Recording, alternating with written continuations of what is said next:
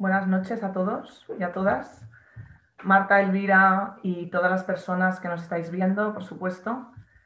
Con el encuentro de hoy llegamos al final del ciclo Fotografía y Exposición, Saberes Cruzados, un ciclo, como sabéis, dirigido por Marta Dao para el KBR, que nos ha tenido ocupados durante ocho semanas, eh, analizando de la mano de cada uno de los ponentes esta relación dinámica y rica existe entre la fotografía y la exposición. Eh, la verdad es que ha sido un placer poder escuchar las reflexiones de Olivier Lubón, de Anne Wilkes, de Jordana Mendelssohn, de Jorge Ribalta, de Florian Ebner, Nicoleta Leonardi, Laura González Flores, y todavía nos queda escuchar las aportaciones de Elvira Yangani al tema esta tarde, analizando desde la perspectiva del continente africano. Creemos, Marta, que el tema planteado ha suscitado mucho interés y que el elenco de ponentes ha sido un privilegio. Así que gracias por tu papel en todo esto. En nombre de KBR Fundación Mafre quería daros las gracias por vuestra asistencia, que ha sido muy destacada durante todo el ciclo, y también por vuestra participación e interacción en cada una de estas sesiones. Como algunos sabéis, el ciclo debería haberse celebrado idealmente online, de forma presencial, en el auditorio del KBR, porque ese era nuestro deseo, ¿no? Eh, dinamizar el espacio que acoge las exposiciones con un programa de actividades en torno a las mismas o en torno a la fotografía en general. Pero por circunstancias eh, que todos imagináis, esto no ha sido posible. Y la verdad es que dentro de las posibilidades del online eh, nos hemos llegado a sentir bien conectados con vosotros y vuestra participación se ha percibido especialmente a través de vuestros múltiples comentarios y preguntas a los ponentes a través del chat. Y sin más, daros de nuevo las gracias, recordaros que las grabaciones de estas conferencias estarán próximamente disponibles en la página web y espero que disfrutéis de la sesión.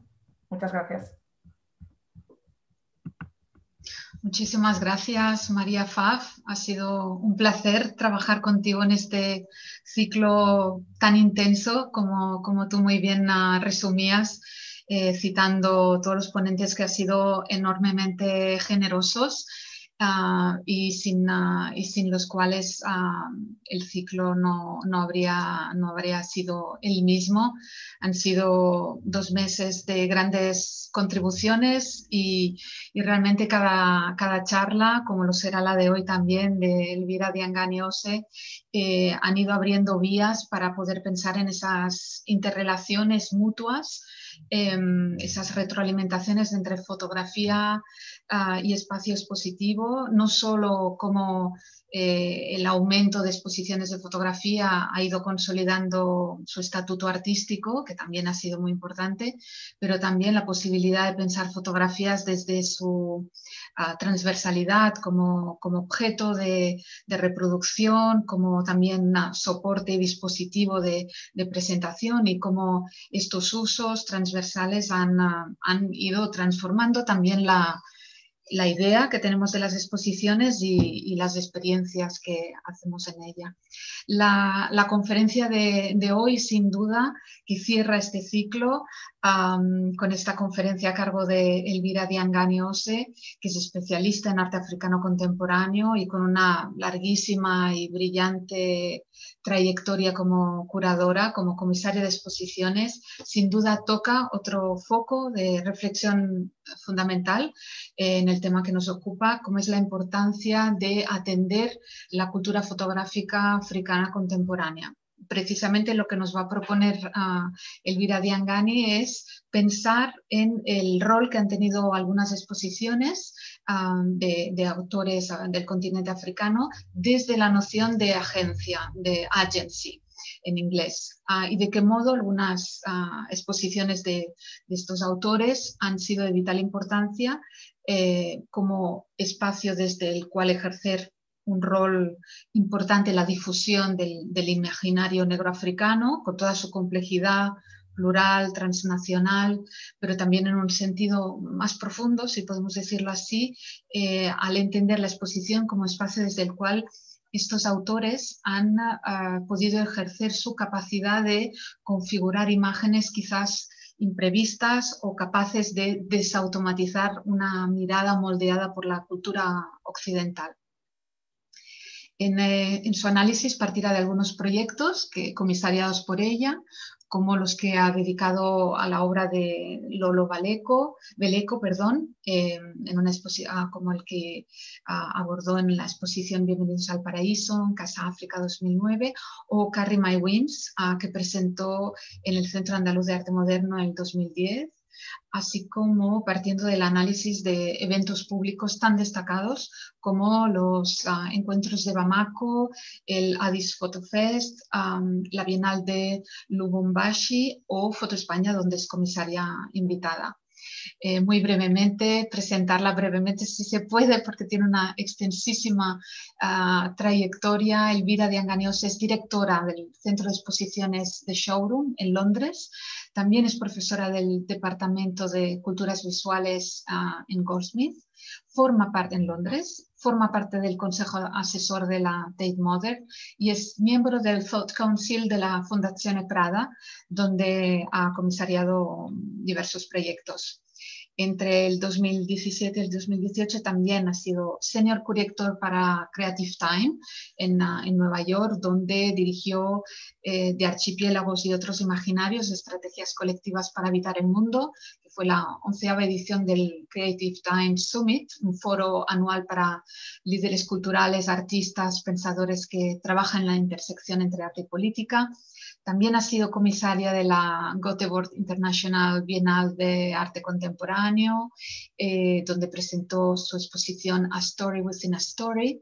Ha sido comisaria de arte internacional, ah, como decía antes, en Tate Modern entre el 2011 y el 2014, donde realizó proyectos entre otros el de Ibrahim El Salai, a Visionary Modernist en el 2013 o Across the Board 2012. Em, anteriormente fue directora artística de la Bienal de Lubumbashi en, el en la República Democrática del Congo y anteriormente también ah, trabajó en el Centro Andaluz de Arte Contemporáneo como curadora en Sevilla, eh, donde presentó la exposición ah, de Carrie My Wings, como decía antes, y también en el Centro Atlántico de Arte Moderno eh, de Las Palmas de Gran Canaria, donde ah, presentó, entre otros proyectos, Olvida quién soy.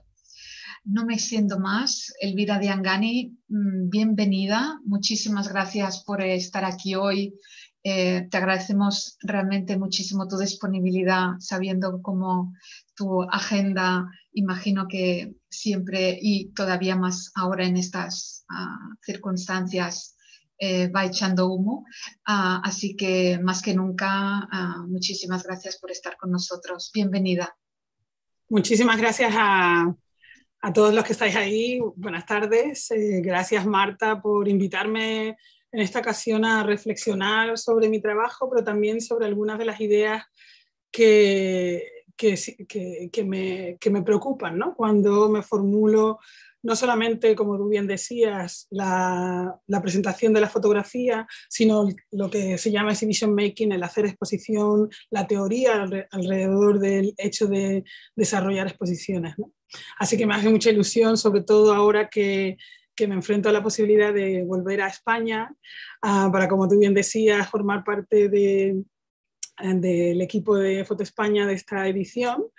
Ah, y bueno, como sabes, que, sé, mi participación, mi invitación fue, eh, de hecho, planteada para el año pasado, pero la pandemia ha hecho que muchas de las cosas que, que tuvieran que pasar entonces eh, se recuperen ahora. Y ese gesto también me gustaría traerlo aquí. ¿no? Hay una cosa que, no necesariamente la, pandemia, pero sí cómo, cómo responder desde, desde, las estructuras expositivas, de los espacios expositivos, eh, particularmente ahora en el caso de Showroom, pero también cuando nos hemos ido planteando la colaboración tanto con Foto España, que se va a desarrollar en dos exposiciones, una que lleva el título de esta ponencia, porque me pareció muy pertinente eh, el hecho de presentar, presentaros a vosotros eh, posibilidades que, en las que repensar la fotografía como saber y el display fotográfico, ¿no? como tú bien decías, como un generador de agencia ¿no? Eh, para el individuo, de voluntad. De, yo lo he traducido imaginario porque esa era la primera advertencia que tenía para, para los que nos están escuchando. ¿no? Eh, y, pero también eh, un proyecto que vamos a hacer con eh, con Matadero Madrid, en el que planteamos eh, a través de la imagen, en este caso, no solamente la fotografía, sino la imagen en movimiento, eh, formas de narrativas plurales, negras y africanas, de africanas en la diáspora, que traen consigo múltiples eh, eh, poéticas. ¿no? Y esa idea de la multiplicidad, la idea de, engancharnos en, un, proyectos que ofrezcan ¿no? y que aboguen por presentar la realidad plural tanto del continente africano como su diáspora, tanto en el presente como en la historia, ha sido uno de los elementos que ha que ha formado parte de, mi reflexión sobre lo que significa ah, exponer y trabajar en el, formato, utilizar, digamos, la exposición para ese encuentro, que es tanto un encuentro con la obra como un encuentro eh, con lo que gestiona ah, lo que podemos llamar eh, lo social, lo que genera ah, lo, social. Pero si quieres, eh, empezamos. Eh, tengo una serie de material que os voy a presentar, voy a compartir mi pantalla y en un par de situaciones saldré de la pantalla para ofreceros otra información. decía también que, para mí era muy importante eh, el pensar en, términos de, en términos de, de qué supone eh, el exponer, porque de alguna manera hay una, hay una parte de la reflexión de, lo que significa ser curator, ¿no? Y yo, yo, os voy a hablar un poco cómo eh, creo que se, puede, que se puede afirmar, digamos, ¿no? Que en muchos de los casos el enfrentarse a la, a la, exposición de arte o el espacio expositivo de arte crea una plataforma, y históricamente se ha, se ha visto así, para que eh, tanto eh, los creadores como los curators nos sentamos narradores y protagonistas de una historia. Eh, una profesora de Goldsmith, ah, colega, ah, expresaba en un texto maravilloso que hizo para la, para la Bienal de Gotemburgo, de la que os hablaré también, de algunos artistas de esa Bienal también os hablaré más tarde, en la que ella decía que, que los artistas estaban mejor equipados que los historiadores para contar la historia no del modo en que sucedió, sino del modo en que se sintió, en el modo en que se vivió.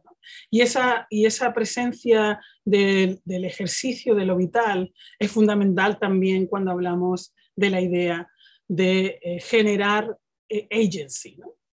Eh, Marta y yo tuvimos una conversación al principio de cuando me invitó y propuse el, el propuse el primer el primer título, que hubiera sido Collective Agency, que aquí lo hemos traducido por imaginario, que tiene un gesto de voluntad, de poder, de, deseo, pero también de capacidad de ver en potencia lo que existe en el presente y que se puede generar. Ese espacio en potencia es para mí el espacio expositivo. Y las obras de alguna manera son la evidencia de la posibilidad de una relación, de la posibilidad de una conexión ah, en términos sociales habrá momentos en los que yo defina aspectos de la... esto es otra advertencia alrededor de, la, de lo que vamos a ir hablando. Algunas de las cosas que os presentaré, ya veréis, la pantalla se, se perderá, quedará en negro o en blanco en según qué casos y haremos una reflexión de la que intentaré no leer porque si no resulto muy monótona. O sea, me gustan las conferencias ágiles y extempore, como se, se suele decir. y hay en algunos momentos también, eh, tengo que pediros disculpas porque la gran parte de mi investigación es en inglés, entonces los, uh, los créditos son en inglés, pero hablaré siempre de las referencias a las que, a las que me refiero en esos créditos.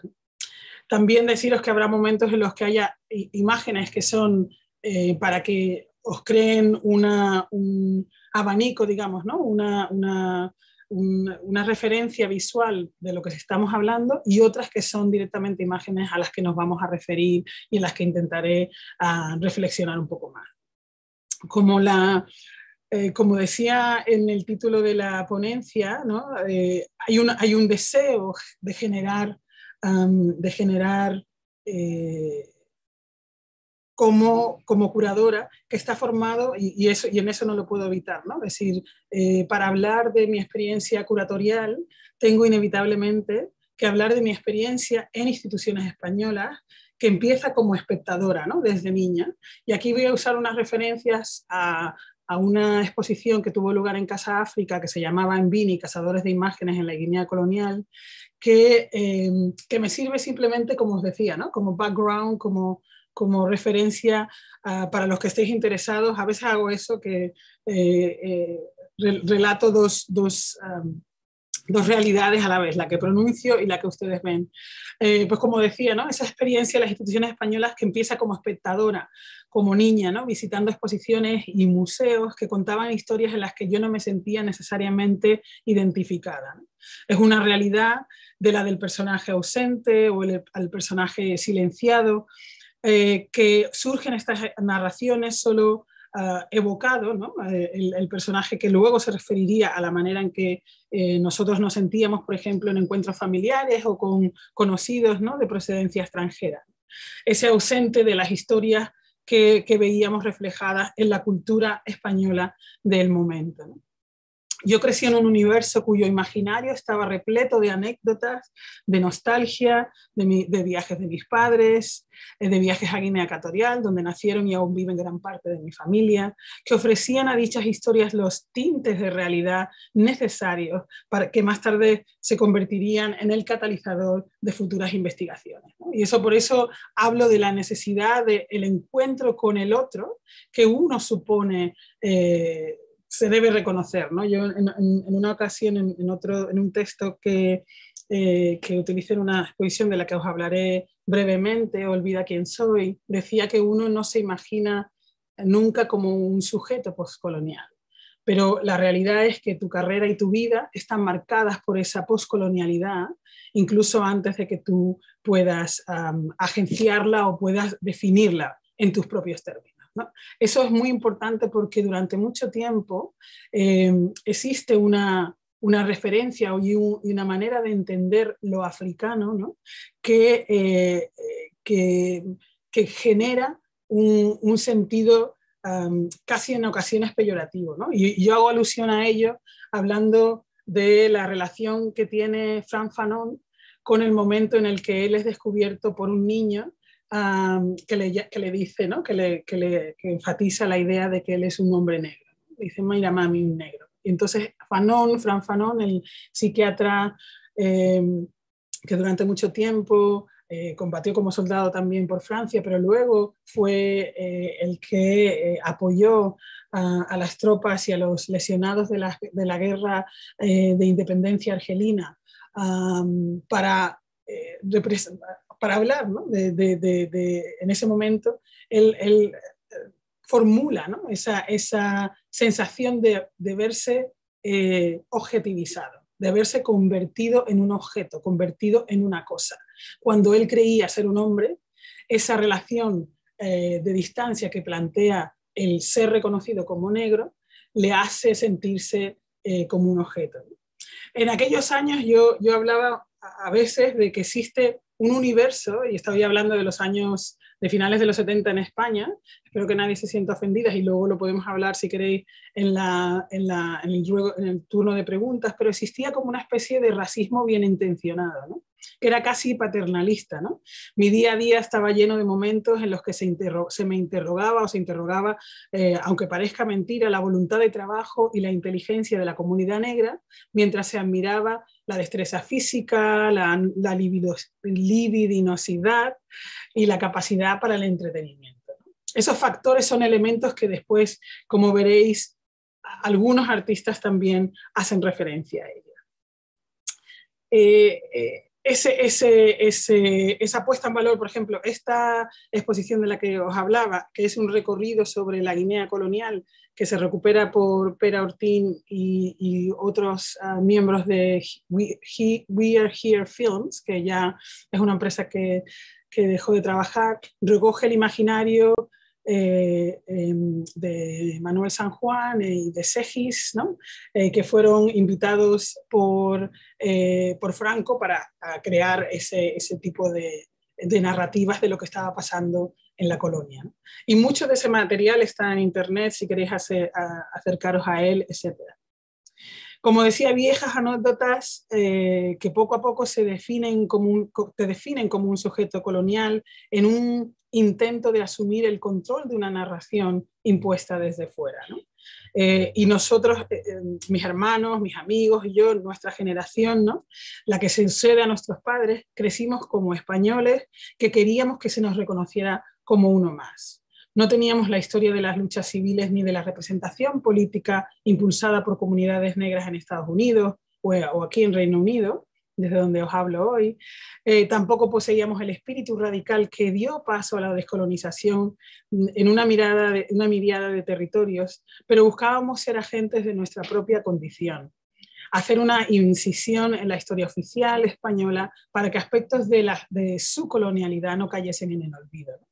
Luchamos, y aún lo hacemos ahora, por una representación más diversa, más real de la sociedad española que popularmente se proyectaba y se proyecta.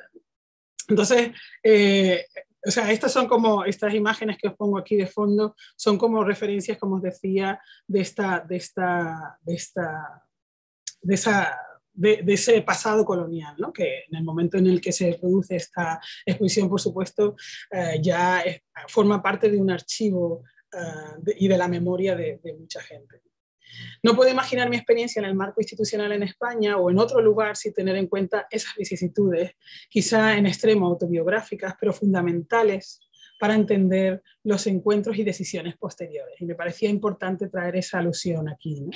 Una no es consciente de cuánto ese imaginario queda adormecido en un lugar de nuestra conciencia hasta que el, momento en que se pone en acción.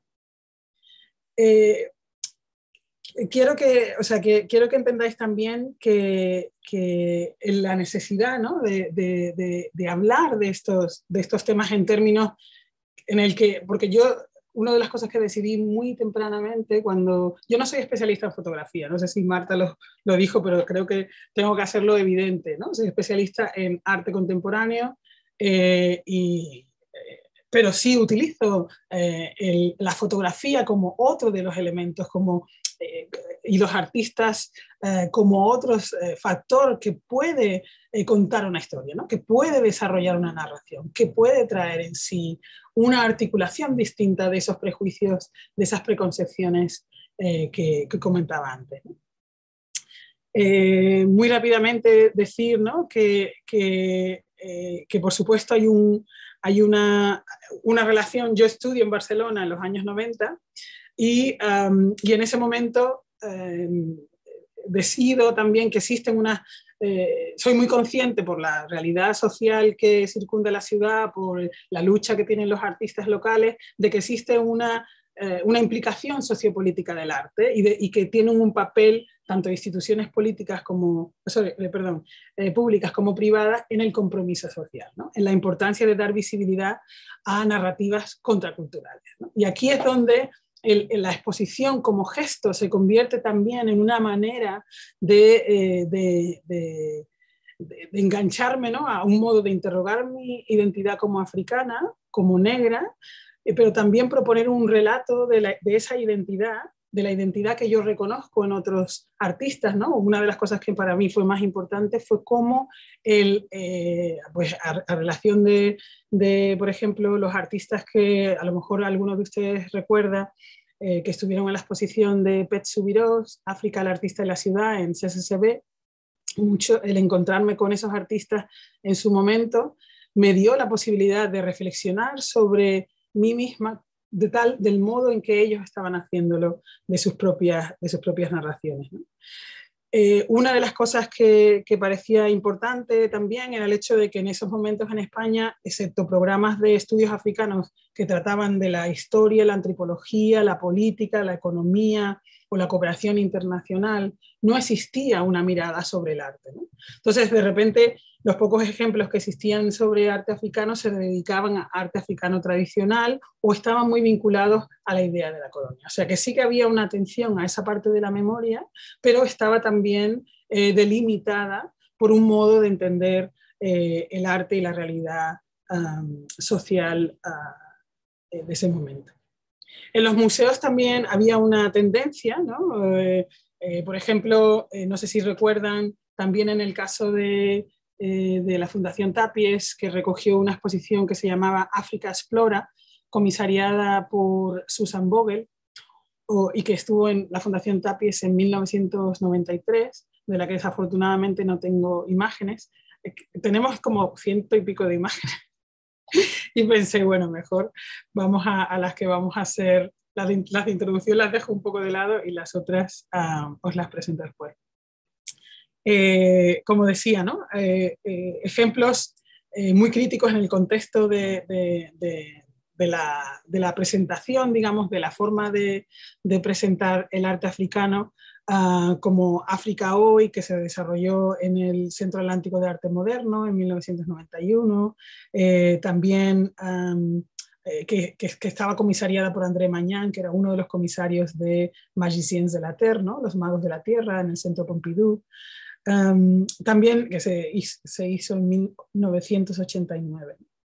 Eh, como decía también, eh, existía en ese momento unas, eh, con ese número, esa, serie de exposiciones, había una, una sensación de perpetuidad, digamos, de la imagen del artista tradicional, del artista rural, del artista autodidacta, que determinaba la autenticidad de lo africano sobre el campo de conocimiento de, una definición muy limitada, que lo fijaba, que lo establecía, que impedía su desarrollo. ¿no? Eh, uno era africano si, como decía antes, si, había, si no había ido a, la escuela de arte, si desarrollaba ah, objetos que estaban vinculados a lo tradicional o si desarrollaba una pintura que estaba más cercana a la pintura naif.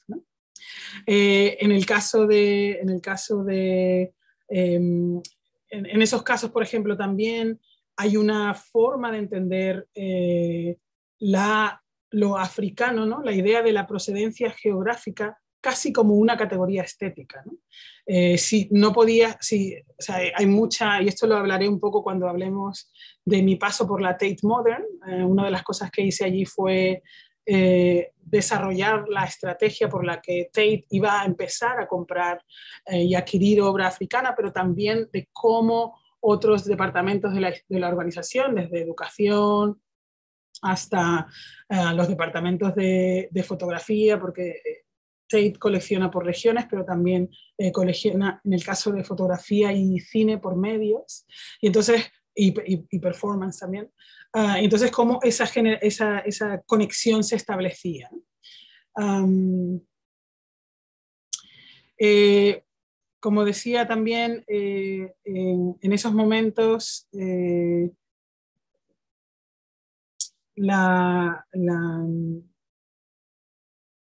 hay, esta idea del, deseo de, artistas de formar parte de una realidad internacional, pero estar como secuestrado por esa imagen de lo que suponía, de la imagen de lo que suponía esa, esa, versión del artista como una proyección de eh, las limitaciones coloniales.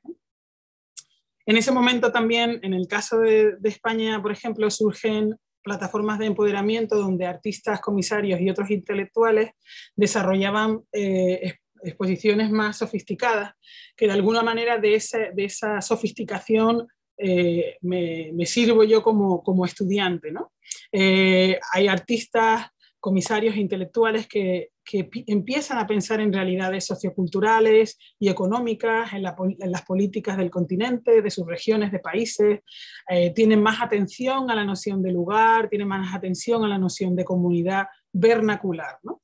Y ese tipo de exposiciones son exposiciones tipo otro país, escalas africanas, el tiempo de África, ¿no? que sucedieron en, en, el CAM y en la Caixa, por ejemplo, en Barcelona, entre 1994 y, el año 2000 respectivamente. Eh, también, como decía, eh, el artista y África, el Áfricas, eh, el artista de la ciudad de Petsubiros, ¿no?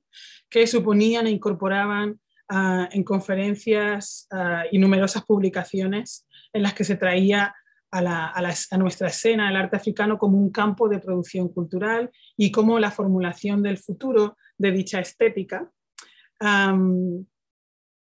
y su recepción eh, en todo el mundo. A partir de ese momento, eh, mi, intención fue como generar, o sea, o reflexionar en la idea que, he venido desgranando, de cómo dentro de una, de una serie de exposiciones en las que se ofrecía un sentido de lo sofisticado, podíamos empezar a hablar de arte en otros términos, de fotografía en otros términos. Eh, muchas veces utilizo esta, esta eh, imagen de cuando me invitaron, de hecho, Claude Boulzac, cuando me invitó a pensar ¿no? en un proyecto que podía desarrollar para, para Foto España, eh, me di cuenta de que en la página web no, no, se, no dirigía ningún aspecto a lo que podía ser la formulación de cuando se decía cuál era el focus de Foto España, no había ninguna dedicación específica a África, ¿no? Decía, estamos, atendemos a la, a la, fotografía europea, americana, de Oriente Próximo y Oriente Lejano, por utilizar términos muy, también muy, muy em, para mí un poco soletos, pero bueno, eh, pero África parecía que se hubiera, desaparecido de ese mapa cultural que ellos establecían. Entonces, eh, era muy curioso porque justo cuando yo a veces presento mi trabajo, lo hago pensando en cómo en esta, en esta ah, eh, edición de 2003 veréis los catálogos, ¿no? que, en las que Foto España presentaba ¿no? una idea de una identidad española eh, o plural, ¿no? casi una identidad humana en términos de, de, Paul Gilroy, que se establecía a través de la fotografía como ese ejercicio ¿no? de, de, vínculo entre lo que era posible ver a través de la, de la mirada del otro. Pero, eh, y, en esos, y, en esa, y, y, en esa cuestión, para mí siempre ha sido fundamental, ¿no? Decir cómo en español el nosotros incluía el otros ah, de esa manera, como, como, realmente había como en potencia esa capacidad de un imaginario colectivo que tenía, ah, que tenía eh, en el espacio expositivo un espacio de transformación. Pero también había para mí esta, esta reflexión de cuál era el lugar que se te ofrecía para producir. Eh, y esto no es, no solamente una cuestión que afectaba, digamos, a la manera de entender la fotografía en el contexto, eh, en el contexto español. Era también una, una manera en la que, como decía antes, ¿no? uno tenía que luchar para generar de manera activa un modo en el que su producción cultural fuese visto de otra manera. Eh, en esos momentos, eh, y os pongo referencias de un par de exposiciones que hice en, el Centro Atlántico de Arte Moderno, que fue uno de los primeros espacios en los que yo empiezo a reflexionar de cómo eh, puedo ofrecer eh, una, forma distinta de entender ah, la práctica, la práctica eh, expositiva como un lugar de reflexión sobre la comunidad y sobre, como un lugar de reflexión sobre la identidad. En ese caso también, eh, otro de los proyectos que desarrollamos es el, en el caso, perdón, antes de seguir, en el caso de la exposición de tres escenarios, Robin Road, que practica la performance, y hablaré un poco de, también de la performance como eh, cuando hablemos de Kerry May Wins, ¿no? de, de, eh, artistas que se sirven de la fotografía para vincular aspectos performativos. ¿no? Y que en el caso de, de Robin Road tiene que ver, ¿no? Cómo, cómo, eh, cómo eh, su, su, manera de utilizar la fotografía le permite crear fabulaciones que él, que es un artista de la calle, que utiliza la estética popular, que crece en una Sudáfrica ah, en la que eh, el graffiti, la cultura popular, la cultura hip hop tienen mucha incidencia y es un lugar de, de libertad, digamos, para, para el artista no se hubiera podido reflejar. de, repente la fotografía como medio, que sería otro, otro aspecto a destacar eh, no, quizás no en esta, en esta conferencia, ¿no? pero cómo eh, la, la, fotografía como medio, la fotografía como el, el, el, el elemento en el que eh, existe, ¿no? en la que la performance del, del, en este caso, el artista, tanto delante como detrás de la, de la cámara, dando direcciones de cómo se debe asumir su, su gestión de la movilidad de su cuerpo, eh, supone un, elemento que ofrece agencia al artista, ¿no? que ofrece la posibilidad al artista de crear su propia subjetividad, de reinventar historias, de regenerar, como decía antes, de contar la historia, de contar el presente del modo en que se siente, no necesariamente en el modo en que pasó. Eh, todo para, porque entendemos que existe también una idea de lo ficticio en la formulación de lo histórico. Y en ese sentido, la fotografía pasa a ser un, elemento fundamental en la, formulación de, ese, de, esa subjetividad reenmarcada, de esa subjetividad redefinida. En el proyecto Olvida quién soy, ah, que, los, que, lo desarrollamos y hablaré también un poco de Lolo Beleco cuando os presente la propuesta en el proyecto Olvida quién soy, la realidad que se ofrecía era una propuesta en la que planteábamos em, presentar el trabajo, eh, que a lo mejor podéis leerlo aquí, ¿no? de, artistas sudafricanos que tenían en ese momento, que es 2006, eh, más de 30 años, o sea, perdón, menos de 30 años, y que, cuya, ah, cuya obra se había empezado a producir y a gestar una, después del apartheid. ¿no? Eh, una de las cosas que decidí eh, como comisaria, una de las primeras cosas fue eh, reflexionar cómo podíamos ayudar a que ni, ni el valor, ni la geografía supusiese un valor estético, ni la biografía de los artistas supusiese un, un elemento de, hacer utilizado por el canon, ni la, preexistencia de ciertos arquetipos sobre el imaginario negro prevalecieran eh, en nuestro modo de ver a esos creadores. Y sobre todo para mí este, esa exposición fue fundamental para entender cómo como comisarios uno tenía que crear una plataforma en la que nos mostrásemos casi invisibles. Era como un juego en el que podíamos presentar la obra, pero teníamos que crear una plataforma total para que el espectador y, el, eh, y la obra tuviesen un diálogo directo. En, ese, en, ese, sentido, a veces hablo de la, ah, de la recuperación de la mirada, de, la posibilidad de, de generar ¿no? Eh, eh, la recuperación de la mirada. no sé si reconocéis algunos de los nombres de los artistas que aquí aparecen, pero puedo comentar, por ejemplo, Lolo Beleco, de la que hablaremos, pero Dave Southwood, em, eh, Miguel Suboski, Tracy Rose, Sanele Mujoli eh, y um, Senseni Maracela presentaban obra fotográfica. voy a pasar el vídeo primero y luego vuelvo a vosotros. Espero que estén.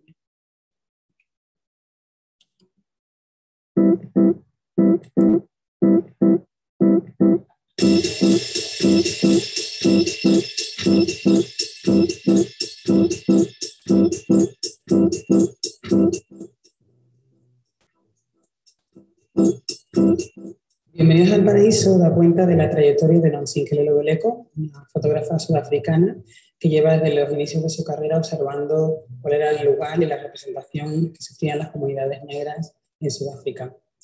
Eh, en, ocasión de su exposición en Las Palmas, en Casa África, se le pidió a, ese artista que viniese a Las Palmas a observar cómo las comunidades africanas vivían aquí.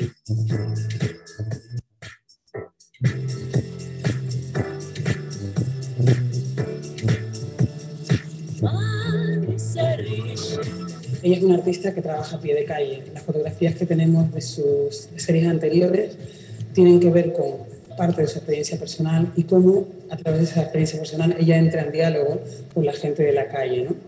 Su interés por el ciudadano, por cómo el ciudadano se apropia de los espacios de la ciudad, como en el caso de los graffiti, pero también cómo reinventa su, las subculturas.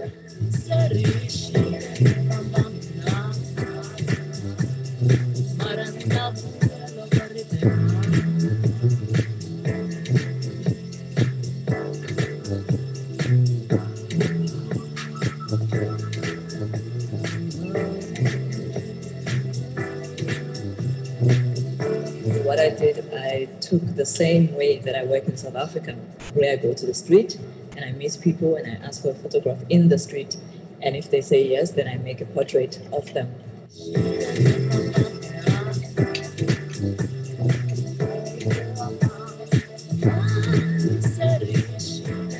But for me, uh, Paradise is a state of creativity. So there's a lot of creation happening in the spaces that I documented. Even the people that I photographed, how they present themselves is a creative process on their part, as well as my part to kind of take out the humanity that I show in their faces, in the way they clothe, they clothe themselves.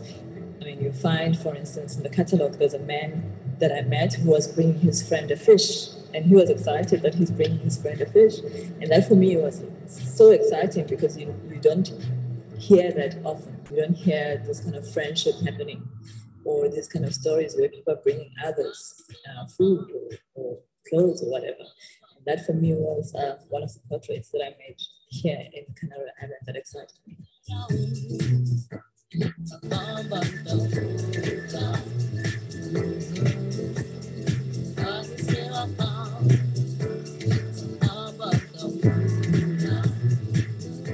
Para mí, cada uno de los personajes te invita a una parcela de, de esa otra narración uh, de lo africano, entre comillas. un, concepto del africano que, que uno se inventa. Si tú no supieras que es una fotógrafa sudafricana, si no supieras que el entorno de su trabajo es Ciudad del Cabo, Johannesburgo, Durham, Pretoria, a lo mejor dirías que esta gente está en Nueva York, Nueva Delhi, Madrid, Barcelona, ¿no? Las Palmas. Eso creo que también es una parte importante.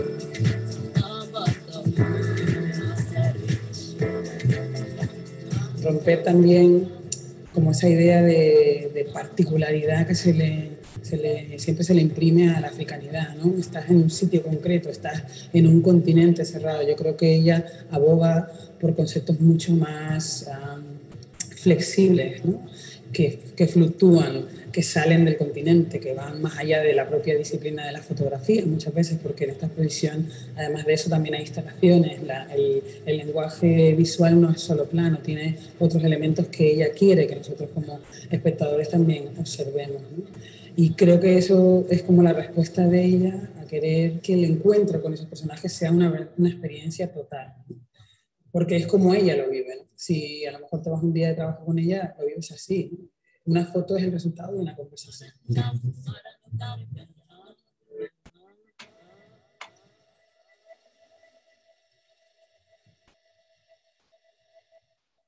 Uno de los eh, aspectos que me parecía más interesante de la recepción, por ejemplo, de esa, de esa exposición.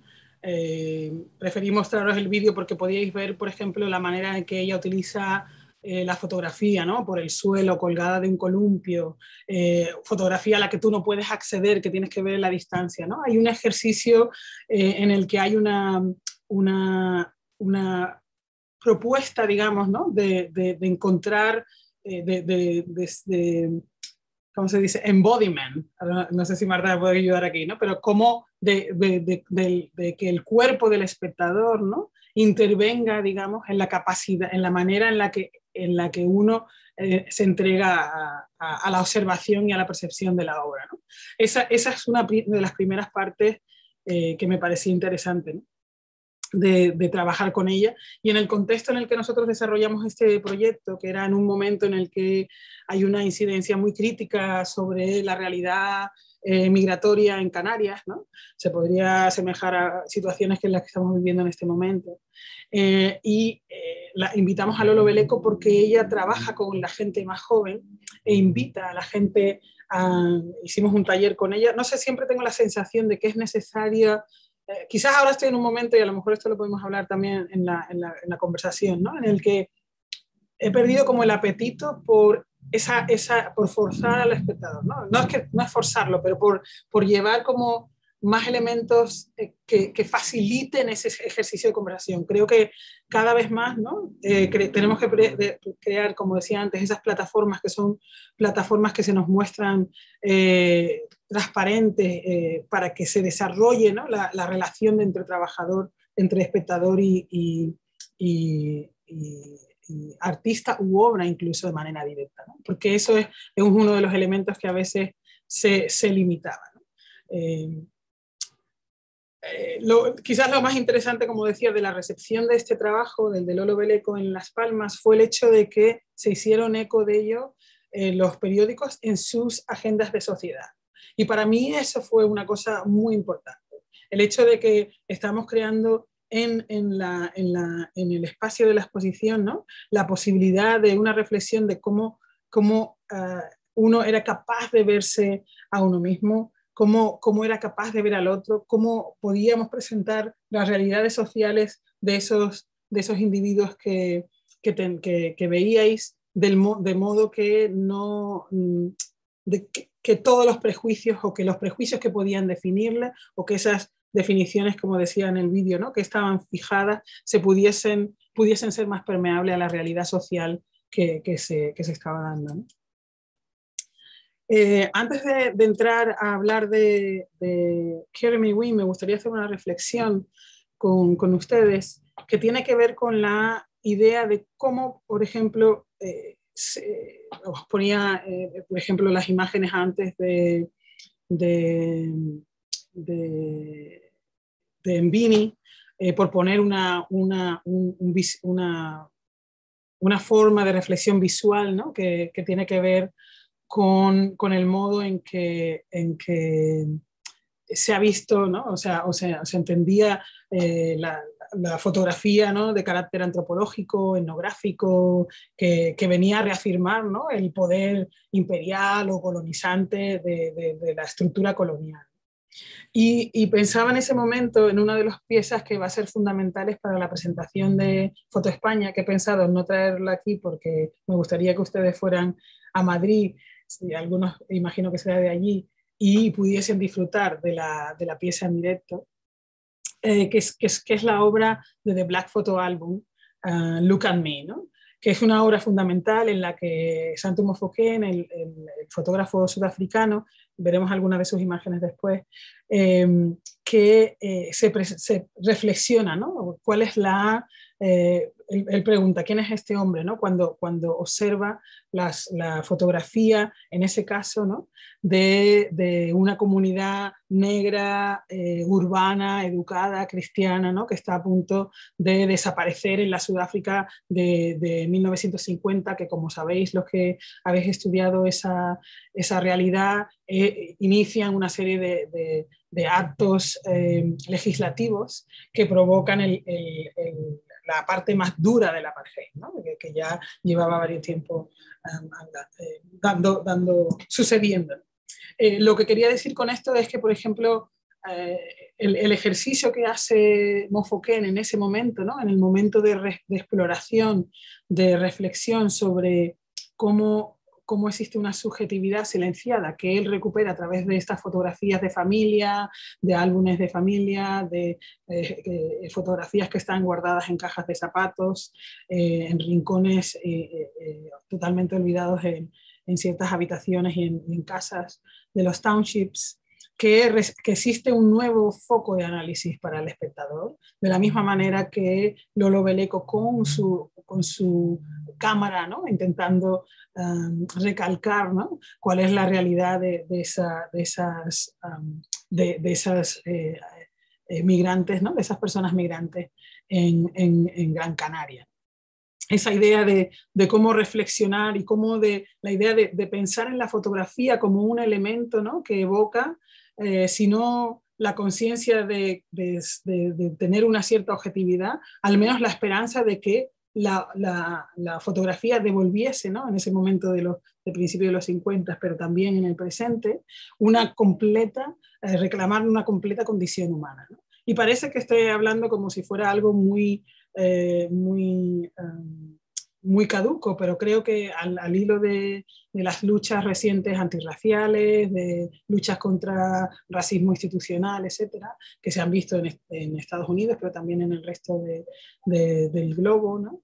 Eh, que es muy importante que pensemos en cómo hay una, hay una cierta eh, narración ¿no? del ser negro, del ser africano, que tiene que, que tiene que ofrecer un análisis distinto, ¿no? que tiene que ofrecer un análisis crítico, que tiene que romper con arquetipos, que tiene que reinventar o eh, eh, reinventar esos, esos arquetipos, ¿no? redefinirlos. Eh, y aquí, en ese, en ese sentido de, la definición, el rol del que observa, el rol del espectador es y será siempre fundamental. Eh, esa, esa, restricción un poco de, de la otredad en los, propios términos es fundamental eh, para, para, para, alguien como Mae Wins, en la que ella se establece como sujeto, mujer, uh, dentro de un contexto, como veis en esta serie, que es la serie de los museos, eh, de Roaming Series y de Museum Series, que formó parte de la exposición individual que desarrollamos con ella. Eh, en, el CAC, en el Centro Andaluz de Arte Contemporáneo en Sevilla, y, eh, que es para mí una de las, de las grandes creadoras, eh, Wynn en este sentido, de lo que yo llamo de, un intelectual público. ¿no? La fotografía como un gesto de, discurso eh, político y de reclamo del lugar público eh, que el artista tiene en ese momento. Eh, os voy a enseñar algunas de las imágenes. Eh, nosotros eh, hicimos esta propuesta en la que eh, llevamos obra desde sus inicios hasta la que había producido antes de, de 2010. Eh, es una, como decía, una manera, ¿no? De nuevo, el espacio de, de, exposición ofrecido, ¿no? Como ese lugar eh, en el que eh, tenemos la posibilidad como, como, espectador de encontrarnos directamente la obra del artista. Eh, y en el caso de, de Carrie Mae Wins, eh, sus trabajos, eh, si no de una manera explícita, sí de una manera sutil, ¿no? muy poética, suele, le pregunta al espectador, ¿no? si, si, tuvieras la oportunidad de cambiar la historia, ¿qué harías? Y ese gesto de qué haría, eh, que tiene que ver un poco con lo que yo hablaba al principio de cómo eh, las instituciones o lo institucional o lo postcolonial, ¿no? todas esas fórmulas más abstractas tienen una incidencia en cómo nos sentimos como individuos. Eh, y para mí eh, es muy importante, por ejemplo, acercarme a artistas como Wings que desarrollan en su trabajo historias no contadas, eh, que también hablan de la fuerza y le exigen a, al espacio, no solamente al espacio eh, de, ¿no? de, la, de, la, de, la, digamos, de la esfera pública, sino también al museo como gestor de esas narrativas eh, que le exigen un lugar. ¿no? Hay una cosa que a mí me interesa mucho también de Wings, que es el uso de la fotografía como un agente escultórico, pero también como el, el, el, la manera en que ciertas formas de perform, performatividad se, se presentan. ¿no? Y así veis también ¿no? en, su, en, su, en, sus obras eh, el uso de papel pintado, por ejemplo, o el uso de fotografías que se salen de los márgenes, que se cuelan en otras paredes, el uso del texto, la narración, la, posibilidad ¿no? de interferir en, la historia, digamos, eh, que ella eh, le ofrece al público, pero que también ella se, se, se, sitúa en sí misma. Y esa, y esa pregunta sobre la posibilidad de cambiar la historia, que después ella recoge eh, en otros proyectos que ha hecho, sobre todo en espacio público, eh, de particular interés y si queréis seguir el trabajo de esta artista de Portland, que nació también en los 50, eh, pero que vive y reside, reside y trabaja en Nueva York, a las afueras de Nueva York, está de hecho en, en, en Siracusa, Uh, muy cerquita de Cornell. Nosotros, yo tuve la suerte de, de, poder tener una relación muy intensa con ella mientras estaba estudiando mi doctorado y, de esa, fruto de esa relación salió también esta exposición. Pero en, este, en el espacio, por ejemplo, en estas imágenes eh, de aquí, que son las que pertenecen a la obra Constructing History, Requiem to Mark the, to mark the Moment, eh, ella está haciendo alusión a, a, a, la clase, ¿no? Como el lugar en el que a la clase de, ¿no? a una clase de, de estudiantes, al lugar en donde, con, en, en, donde se produce ese gesto, ¿no? es decir, en el que tú tienes la posibilidad no solamente de asumir esa, ese, ese vínculo a los estudios, sino también la capacidad, la potencia de generar un nuevo imaginario. Y ese imaginario, en el caso de sus talleres, por ejemplo, son extraordinariamente ricos, se convierte, como en el caso de estas fotografías, en, en algo que tú puedes plasmar.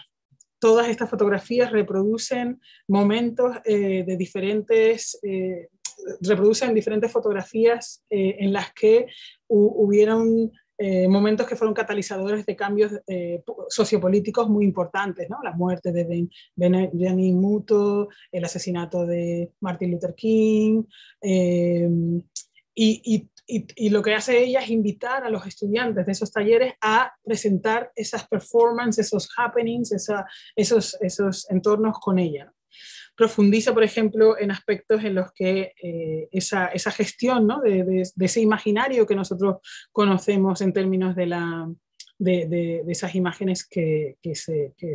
¿no? De, tal manera, ¿no? pues fotógrafos de la época como Gordon Park o Moneta, uh, Sleep Jr., etcétera, eh, serán fundamentales para, para, para, para presentarlo. Una de las cosas que yo a veces he hablado eh, con relación al trabajo de Wims es el modo en el que ella, eh, y aquí veis también otra serie de instalaciones, como os decía, ¿no? desde sus obras de Ain't Joking, uh, No estoy bromeando, ¿no? que son obras en las que utiliza también elementos de... Ella tiene un sarcasmo increíble y utiliza elementos de, de la cultura popular también como forma de, de, de crítica, más allá al fondo uh, perdón, más allá del fondo aquí veis eh, Ritual and Revolution, ¿no? que es una obra también en la que se sitúa de manera histórica. Ella siempre, el, el cuerpo del artista en este caso eh, está ahí no como un autorretrato, sino como para representar una, un, algo que es más, más, grande que ella misma, ¿no? algo que está por encima de su propia realidad personal. ¿no? Y entonces ese gesto eh, a mí me parece que invita al espectador siempre a la inmersión. ¿no? De hecho, en el caso de Ritual and Revolutions eh, y Hampton Project, por ejemplo, son obras en las que hay mucha obra en tela en la que tú transitas casi como quien dice por dentro de la, fotografía. ¿no? Hay una inmersión. O sea, ese gesto ¿no? de, en, ambos casos, tanto en Lolo como, como, como en, en, el caso de, de Kerry McWin, ¿no? en el que hay una necesidad de que el espectador eh, haga una conexión eh, que sería como el full embodiment uh, de, su, de, su, relación con la obra, pero de relación también con los temas que la, que la obra está poniendo a colación. Hay una, eh, cuando hablo muchas veces de, del trabajo de Wims, me gusta vincularlo con la obra de un antropólogo eh, haitiano que se llama Michel Rolf Troyot y que habla de la, de la duplicidad de, la, de, la, de, los dos sentidos de la historia, ¿no? en las que, por un lado, está la parte de, digamos, que, que, se, que se que se ofrece, ¿no? Que, Troyot, por ejemplo, como decía antes también en el caso de Jais Hernández Velázquez, ¿no? Dice que los seres humanos todos participamos en la historia eh, como actores, pero también como narradores, ¿no? Y eso es fundamental también para Wim. ¿no? Somos parte de la historia y, exigimos también ser, conscientes de ser protagonistas conscientes de ese proceso. Eh, esa definición de historia ¿no?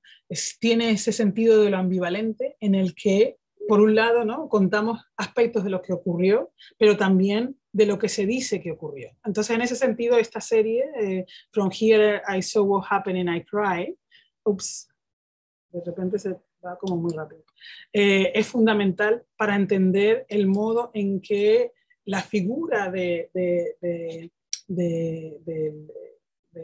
esclavo negro en este caso eh, ha, pasado por esa transformación que yo os hablaba antes, ¿no? de, esa, de esa idea de, ser, por ejemplo, un, un, perfil científico, de ser un tipo de negroide, ¿no? de servir para, para la especulación eh, ¿no? del explorador colonial, del científico, del, del, ser objeto, digamos, de la historia natural y del debate antropológico, ¿no? más allá que una persona en sí, ¿no? más allá que de la recuperación eh, de la persona en sí, esta pieza eh, o un sujeto fotográfico. ¿no? Y esta pieza es fundamental en su práctica, ¿no? desde aquí vi lo que pasó y lloré. lloré.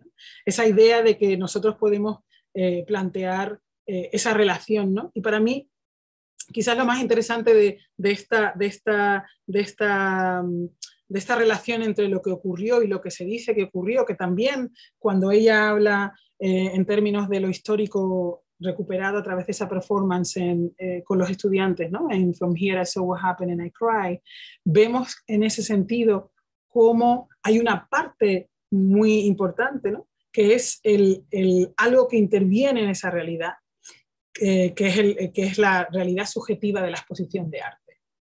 A mí en ese sentido me interesa mucho eh, esa, la posibilidad de hablar del espacio de exposición como uno que ofrece una posibilidad ¿no? de, subjetiva, delimitada por, por, la agencia del artista, por la política de los museos, por supuesto, o las galerías, pero también la del propio comisario, ¿no? donde es imposible alterar los discursos de lo real y precisamente donde los artistas encuentran su lugar como agentes de producción de la historia. No es solamente storytelling en términos de eh, presentar eh, una, cierta fabulación, ¿no? una cierta ficción, como decía antes, sino también reafirmarse como tales intelectuales públicos. Y en ese sentido creo que si por un lado teníamos a, alguien como, eh, como Lolo Beleco, que nos presenta la realidad de una, por un lado, Sudáfrica, en la, imagen que, que, anunciaba esta charla que tenía Marta en su Facebook, la imagen que, anunciaba esta charla en la que se presentaban esa, esa, esas formas de eh, esas, esas, dos chicas de Sudáfrica, ¿no?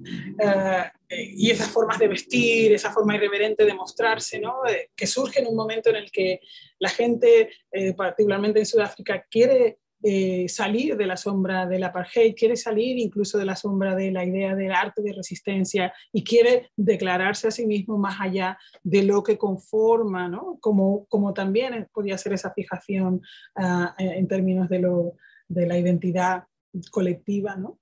eh, eh, se, que, quieren representarse a sí mismas. voy a ir muy rápido, creo que me quedan 10 minutos o algo así. Uh, solamente quería hablaros muy rápidamente de, de, lo que supone eh, de, el otro gesto que, como decía antes, ¿no? hay la, posibilidad del arte de proponer una, una, una, intervención en el proceso sociohistórico, ¿no? en la forma en lo que, de, cómo contar lo que ocurrió, ¿no? No, no solamente cómo se dice, lo que se dice que ocurrió, digamos. Uh, y para eso es muy importante la colección de arte. ¿no? Eh, la colección de arte, que por supuesto, colección de arte tanto en, instituciones privadas como en instituciones públicas.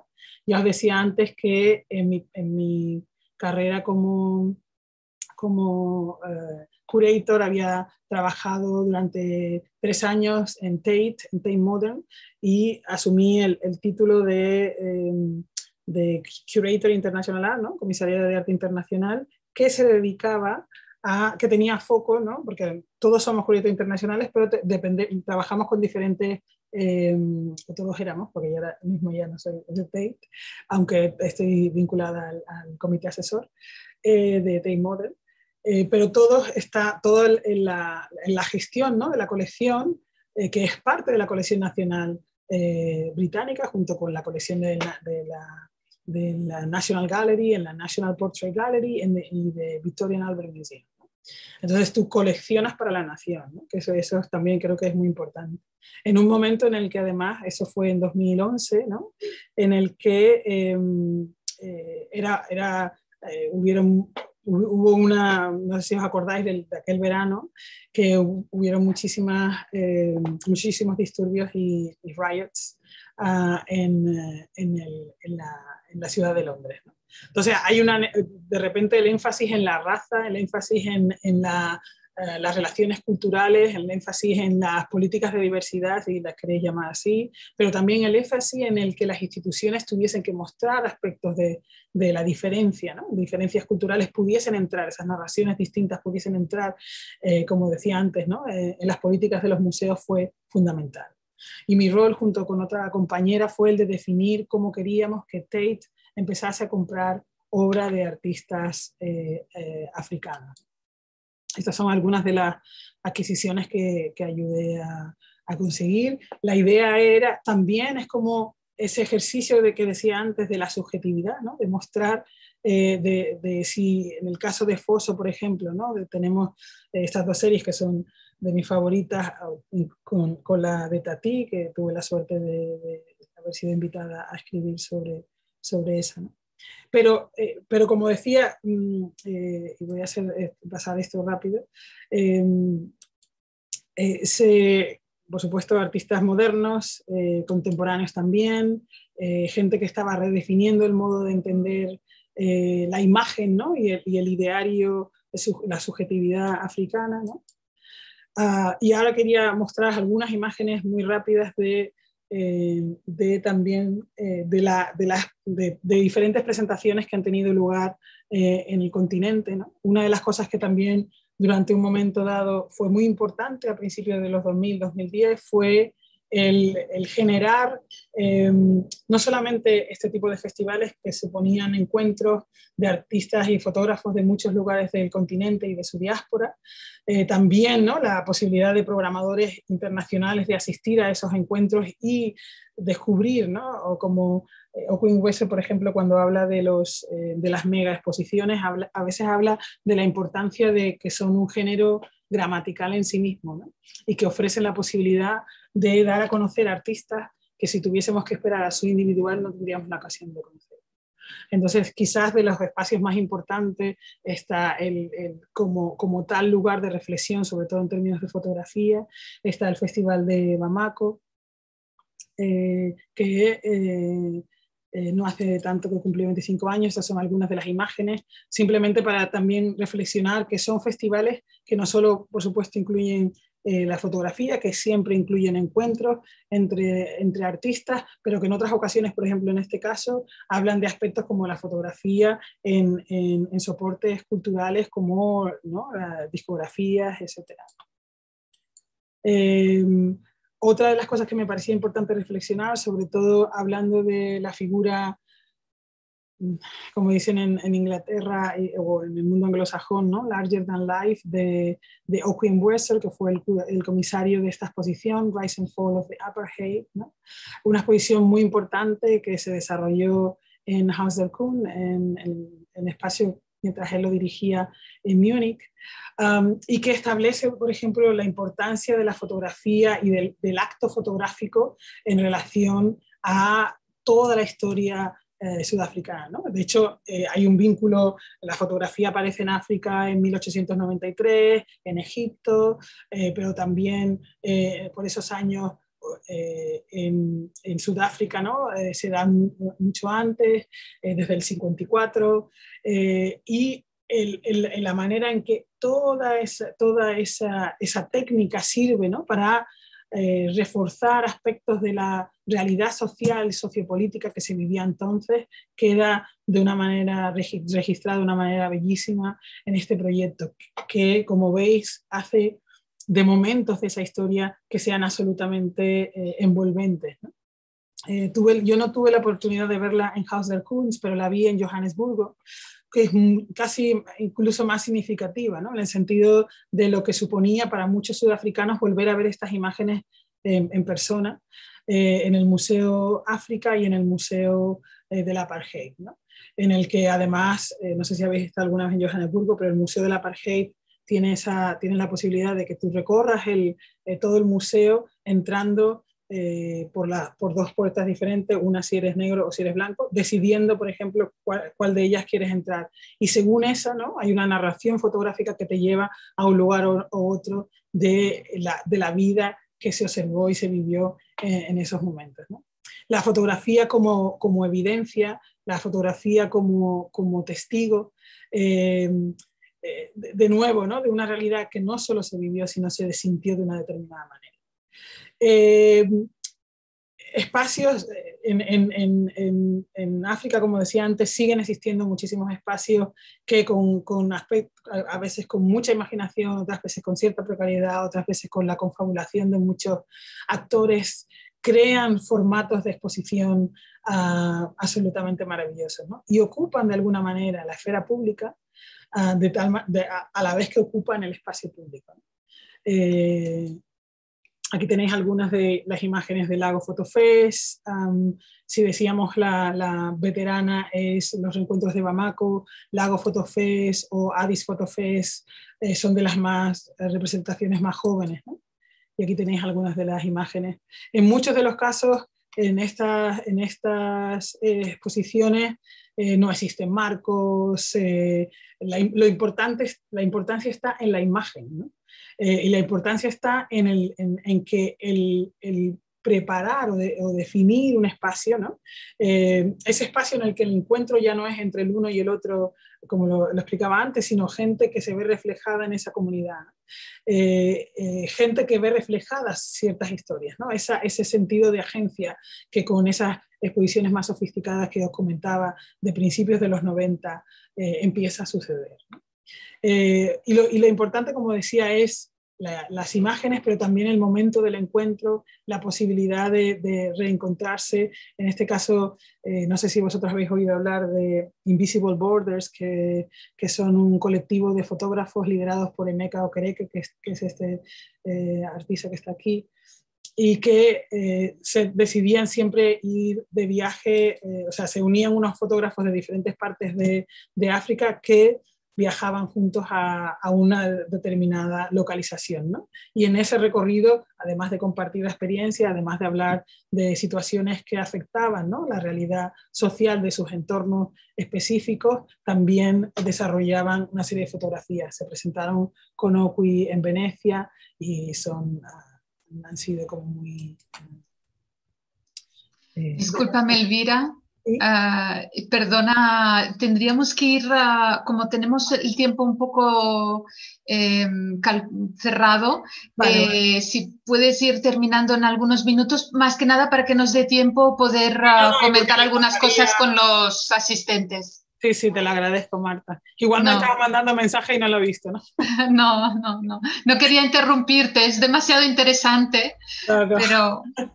Pero bueno, no, lo que, gracias a ti. Lo que quería demostrar también un poco aquí es como de que al final lo importante es la imagen, no, no solamente el soporte, ¿no? Y entonces en ese tipo de relación, eh, pues veis aquí, ¿no? Adi Photoface, ese tipo de, exposiciones son fundamentales.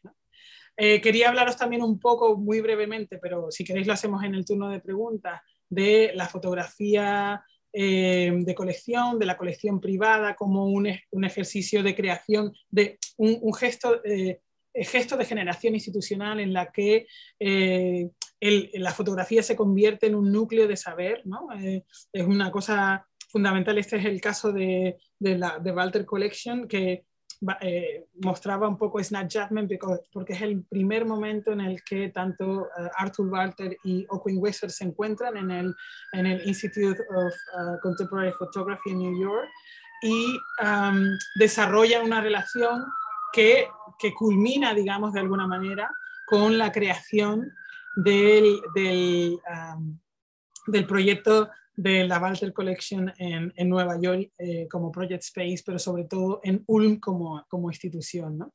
Y, y, quizás ahí eh, esa es un poco una, me parece como muy importante, ¿no? Recalcar el hecho de que, em, de que, eh, voy corriendo aquí, perdona, es que ahora ya quiero saltar. Estas son imágenes del, del proyecto que desarrolló Queen en, en, 2010 y este es el espacio expositivo de Ulm. Aquí tenéis otras imágenes, siempre hay una referencia a los libros, a las publicaciones que han hecho. aquí es la Walter Collection, porque una de las cosas que me parecía interesante es cómo la utilización de la fotografía y el diálogo con especialistas para la generación de un conocimiento a través de la fotografía como fuente de saber. Eh, y, la reinterpretación de la colección una y otra vez como un modo de recuperar las historias que existen dentro de la colección, además de la reflexión, por ejemplo, en términos de eh, fotografía individual, ¿no? de artistas individuales. No me va a dar tiempo de presentaros a Picha, lo voy a hacer así como muy rápidamente. Eh, quizás deciros de nuevo ¿no? Eh, que un poco de como del, del, gesto, una de las cosas que para mí fue fundamental es pensar que en este momento yo estoy empezando paralelamente a trabajar con, con Tate y me invitan a hacer esta exposición en Picha y se convierte en un momento en el que no existen medios para hacer nada y decidimos que teníamos que inventarnos un modo de presentar los trabajos, ¿no? en este caso los de resultados de un taller, pero como veis de una manera muy precaria, pero afectando, y esos venían a ser como dijésemos los resultados del taller, aquí presentaciones de artistas como Katia Cameli, por ejemplo, que veis aquí en la fotografía, pero siempre con, con, la, ¿no? por ejemplo, esta pieza espectacular de, de Miguel Subotsky en, en, un patio de colegio. Eh, intervenimos muchas de las clases de este colegio como espacio expositivo.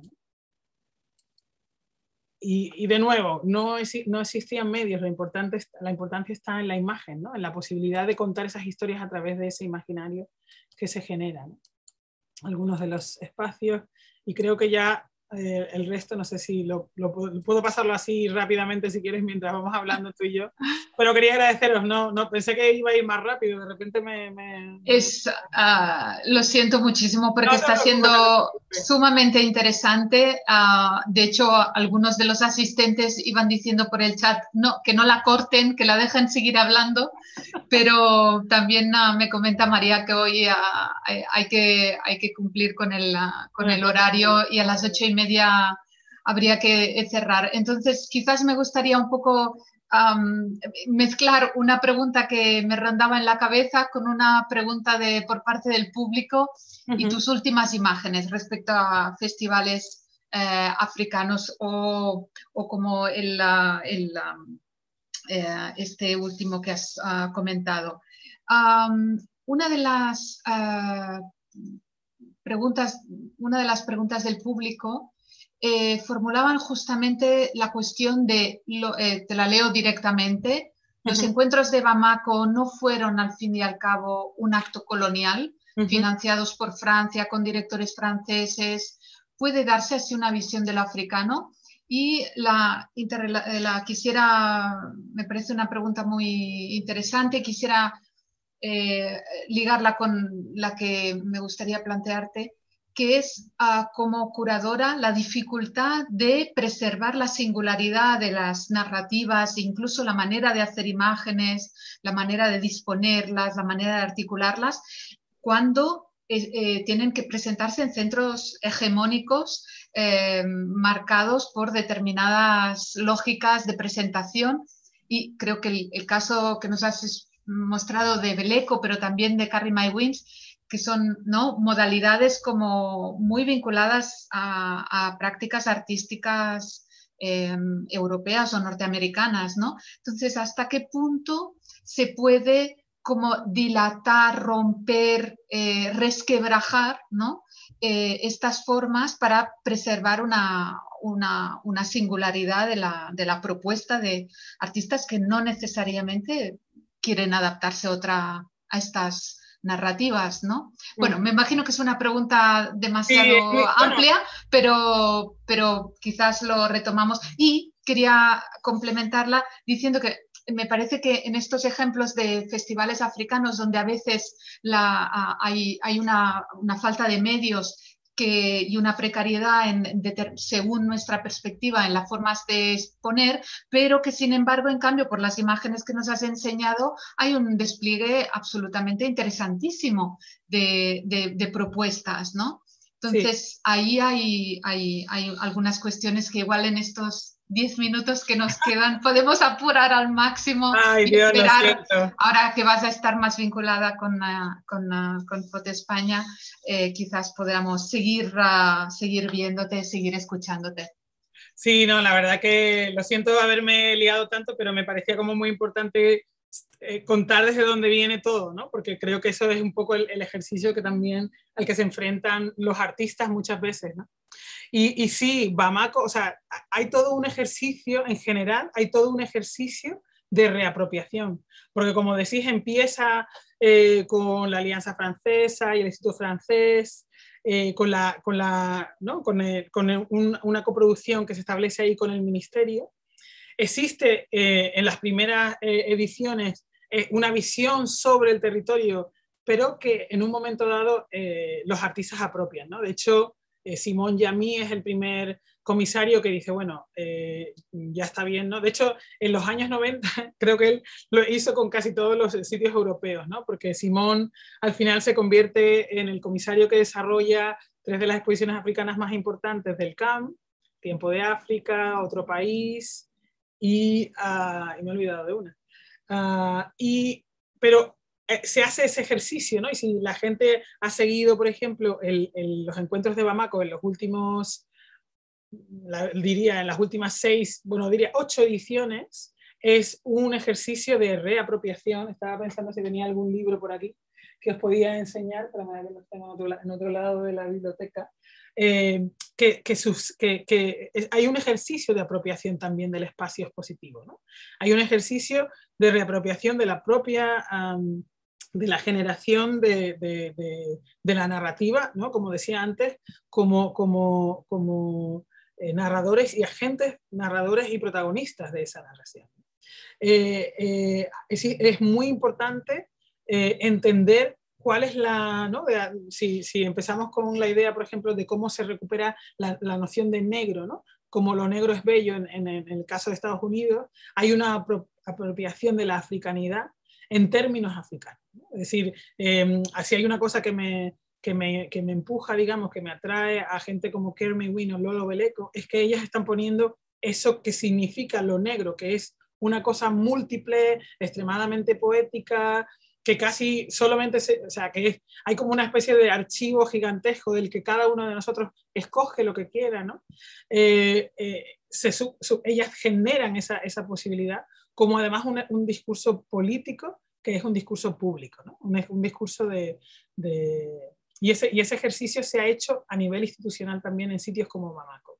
Interesante es que, por ejemplo, Aida Mulunet, que, es la fundadora del Addis Photo Fest, y Sami Baloyi, que es el fundador de Pichar, Encontres de, de la fotografía de Lubumbashi, ¿no? de la Bienal de Lubumbashi, son ambos ganadores de los reencuentros de Bamako y utilizaron el dinero de los premios para generar la primera edición de sus, de sus exposiciones, ¿no? de los festivales. Entonces es muy importante esa, eh, el entender que sí es, existe ese momento, pero que hay una gestión ¿no? de recuperación del africano. Y estaba, quería poneros una imagen, pero no me da tiempo, de, de, esto es porque como me invitáis por primera vez quiero decir muchas cosas. Eh, la, imagen de eh, que tendréis la oportunidad de ver si vais al círculo durante el verano, a, a eventos de lo social, a esa exposición, que es la imagen, las imágenes de eh, Santo Mofoquén, que lo tengo aquí, y sé si os lo voy a enseñar. Y os voy a enseñar rápidamente, eh, así rápido, a ver si se puede ver más o menos, para que os hagáis una idea del tipo de imágenes que, presentan.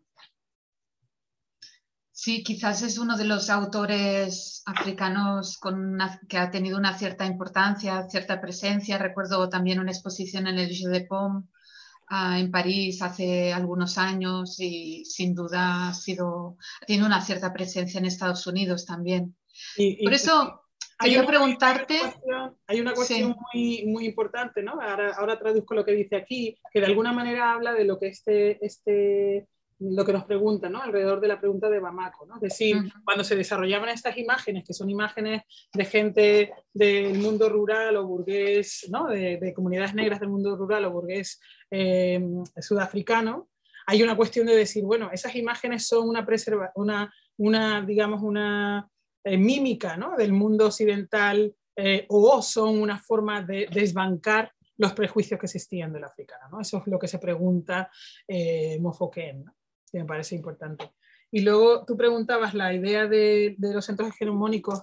No es, no, es, no es fácil y todavía hay muchas cosas que, que se tienen que, que, tienen que cambiar. Eh, hay una, hay, tiene que haber un ejercicio de descolonización, no solamente de, de, las narrativas que se presentan en los museos, sino de las propias instituciones. Y del propio canon el canon art, el canon fotográfico, se tiene también que descolonizar. ¿no? Eh, una de las cosas más difíciles que me sucedían a mí eh, cuando era curator en Tate era que era muy difícil proponer uh, una exposición uh, eh, africana sin tener que traer a colación todo eso que define la africanidad para que se pueda entender por el público local. Eso ya era un enorme, eso ya era un avance inmenso, ¿no? Me imagino. Sí, pero, pero claro, la cuestión es decir, ¿por qué si queremos hacer una exposición sobre la fotografía de 1970 en Nueva York, no hay ningún problema, pero si queremos hacer la fotografía de 1970 después de los 90, no hay ningún problema. Pero antes, la cuestión es, bueno, y entonces estos fotógrafos eran buenos, eran malos. O sea, es decir, hay una cuestión que se le exige ¿no? a, la fotografía africana, al arte africano, de tener de, casi un ejercicio de transformación. Eh, necesita, se tiene que hacer más y mejor, ¿no? Y esa, y esa relación ¿no? con, la, con la posibilidad de, desbancar, digamos, formatos eh, hegemónicos establecidos es fundamental también si queremos, si queremos entender ¿no? qué es lo que, cómo, cómo desarticular ¿no? Eh, el, las prerrogativas y, las formas de canonización que ya existen en esas instituciones. Mm. Eh, como decía, gente como, como, como Kermy Wins o, o, Lolo Beleco ya están haciendo ese gesto en el tipo de proyectos que desarrollan. No sé si he contestado a tu pregunta. Sí, desde luego. Eh, aunque es una cuestión tan ah, amplia que sería maravilloso tener una, hora más para seguir hablando contigo. Eh, muchísimas gracias, Elvira, de, verdad, por, por abrirnos todas estas ese despliegue que has hecho, eh, integrando esa necesidad, esa importancia de integrar lo vital, que siempre está, aunque, ah, y el cuerpo, aunque, aunque nos olvidemos, aunque no lo tengamos en cuenta, em, y, también por todas esas ah, experiencias, exposiciones, lugares desde el cual em, generar esos espacios de, como decía al principio, ah, necesario para también eh, desautomatizar o deshacer el canon, desautomatizarlo y, la, y reconocer la dificultad que supone, puesto que también es una cuestión de lengua. ¿no? Eh, Esther Keister, el otro día, una curadora holandesa, eh, comentaba hasta qué punto seguimos ignorando, por ejemplo, autores orientales o de otros países y ah, con los cuales todavía parece que sea tan difícil ¿no? alcanzar ese esa, mm, bueno, em, conocimiento como más fluido, más... más es que quizás por eso, claro, quizás por eso es muy importante la idea de cómo el, el espectador, como un otro que entra en conversación con una serie de imágenes, es fundamental. ¿no? Es decir, nuestro rol, cuánto que queramos involucrarnos en la gestión eh, que nos ofrece, o en, la narrativa o en la historia que nos ofrece un proyecto expositivo, una, una serie fotográfica. Cuánto, o sea, el, el, tiempo que le dedicamos, la gestión, la, la, manera de que poéticamente nos enfrentamos a ella, depende solo de nosotros. Mm, y cuánta diferencia estamos dispuestos a abrazar también, ¿no?